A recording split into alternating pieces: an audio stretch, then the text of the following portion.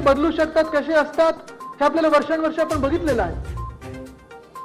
पण हाच प्रश्न एक सतत येत असतो की आपण ह्या लोकांना कमी काय दिलं आणि कधी दिलं कमी? तुम्ही सांगा.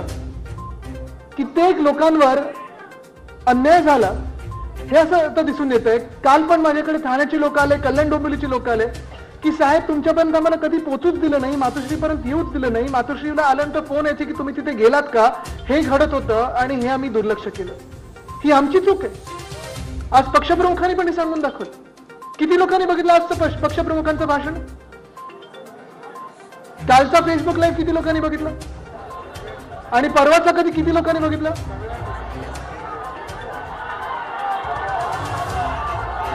सर्वांनी बघितलेलं आहे. पण मी तुम्हाला एक सांगतो.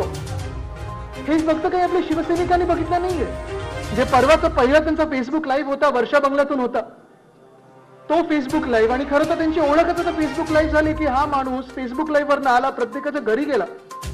आणि कोविडच्या कठीण काळात महाराष्ट्राला आणि महाराष्ट्र म्हणजे देशाला सांभाळून घेणारा दिशा दाखवणारा मार्ग दाखवणारा काळजी दाखवणारा सगळ्यांची काळजी घेणारा आपल्या घरातला माणूस म्हणून मुख्यमंत्री उद्धव ठाकरे हे नाव प्रसिद्ध झालेलं आहे.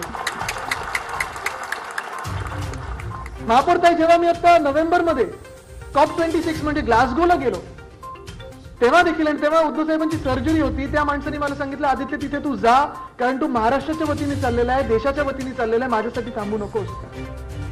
तिथे देखील या माणसाचं कौतुक झालं की कोविड कसं तुम्ही हाताळला.